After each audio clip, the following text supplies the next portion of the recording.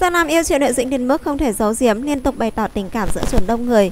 Triệu Đệ Dĩnh và Sa Nam này được nhận xét như cặp đôi mới cưới. Giữ Phượng Hành lên sóng như một cú huyết đưa tên tuổi của Lệ Dĩnh trở lại với đường đua tiên hiệp. Không chỉ có những kỷ lục khủng bị đánh bại mà Giữ Phượng Hành còn gây sốt bởi mối quan hệ giữa hai nam nữ chính Lâm Canh Tân Triệu Lệ Dĩnh. Riêng với nhà trai, anh khiến người xem đi từ bất ngờ này đến bất ngờ khác với sự quan tâm của mình dành cho bạn diễn. Trong phản vấn với tạp chí New More, Lâm Canh Tân được cho không thể giấu nổi tình cảm của mình dành cho người bạn diễn lâu năm với Triệu Lệ Dĩnh.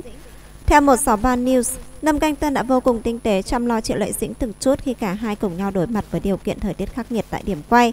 Cả hai chẳng khác nào một cặp tân hôn, liên tục có các cử chỉ ngọt ngào cùng nhau.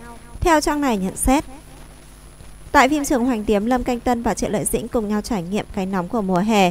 Những lúc rảnh rỗi không ghi hình cặp đôi thường cùng nhau đi ăn thịt nướng. Đến lúc chuyển sang khu vực Tượng Sơn, thời tiết lại trở nên mát mẻ. Đây cũng là thời điểm mà nàng Thẩm Ly và chàng Hành Vân có nhiều cảnh mặn nồng cảm xúc. Thế nhưng cả hai vô cùng thoải mái diễn với nhau chẳng khác gì yêu thật, vì trước đó đã hợp tác trong sở kiểu chuyện.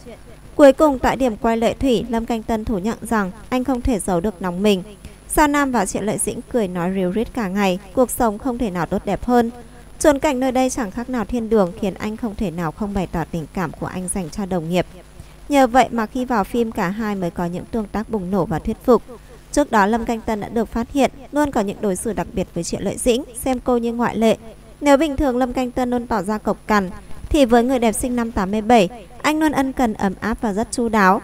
Đến Triệu Lệ Dĩnh còn nhận xét Lâm Canh Tân là một chàng trai tốt và tinh tế, điều mà khán giả chưa từng nghe từ ai khác.